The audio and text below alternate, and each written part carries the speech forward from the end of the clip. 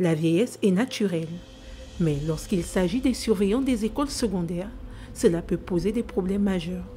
Le vieillissement physique entraîne une réduction de la vigueur et de la force dans les os, ce qui peut constituer un handicap pour maîtriser les élèves agités et violents. Le phénomène de vieillissement du personnel d'encadrement, comme on les appelle, surveillants, est connu.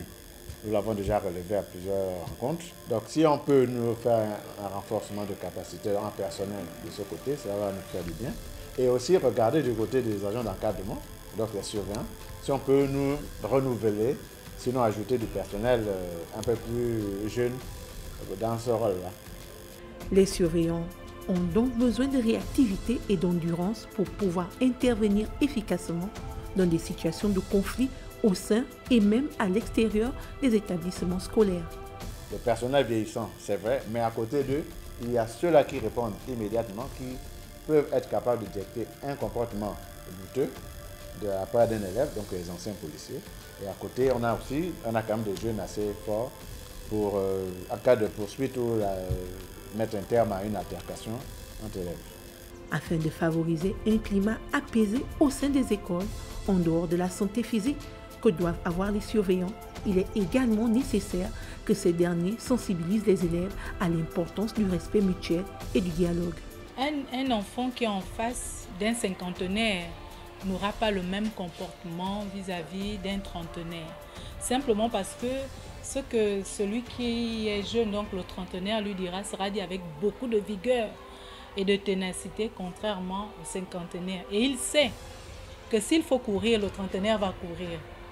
ce que le cinquantenaire ne pourra pas faire. Donc la virulence aussi se trouve dans la façon, de dire les choses. Si vous voulez qu'on court, nous allons courir et je suis prête à vous affronter. Mais ce n'est pas tant un conflit, mais c'est juste pour faire asseoir son autorité. Depuis trois ans déjà, sinon quatre ans, le a déjà tenté de trouver une solution. En faisant en sorte qu'à côté des surveillants, surveillants des écoles et établissements, qu'il y ait aussi les agents de sécurité. Dans ce groupe d'éléments de sécurité, nous avons les anciens policiers retraités et d'autres jeunes gabonais qui ont un certain âge. Donc, euh, du coup, je crois que tout ce qui est lié à la violence tend, à diminuer parce qu'il y a déjà ce renfort-là. Face à cette situation récurrente du vieillissement physique des surveillants dans les établissements scolaires, un recrutement de nouveaux surveillants plus jeunes et dans des meilleures conditions physiques est impératif.